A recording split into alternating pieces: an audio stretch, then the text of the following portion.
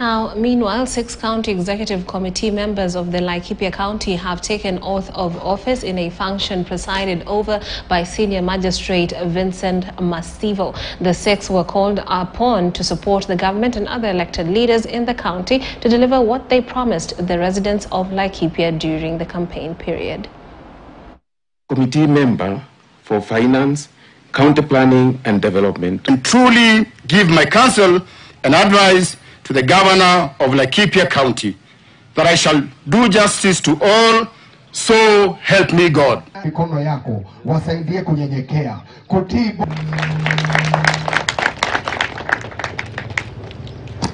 na peke yako Mwenyezi Mungu tunakuomba msaada. wale wamechaguliwa siku ya leo kama kaunti ya Laikipia, wale wataulizwa maswali na wale wakikosa kuperform watafukuzwa nyumbani.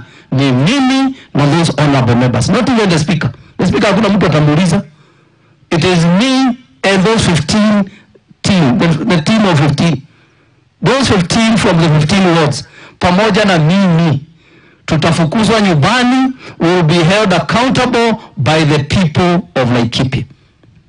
And therefore, the CEC, we have appointed them to help us deliver what we promise the Laikipia people.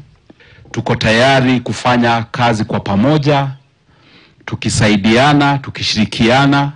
Ikiwa kuna ushauri wetu utahitajika, officers wa national government, ikiwa kuna huduma, huduma zitahitajika, tuko tayari kushirikiana.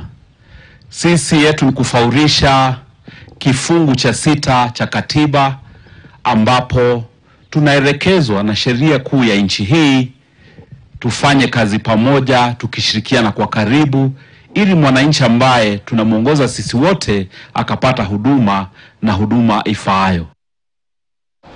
Right, and far from that, the Linda Maji Mtaani Golf Tournament is currently underway at the Eldoret Club in Uasin Gishu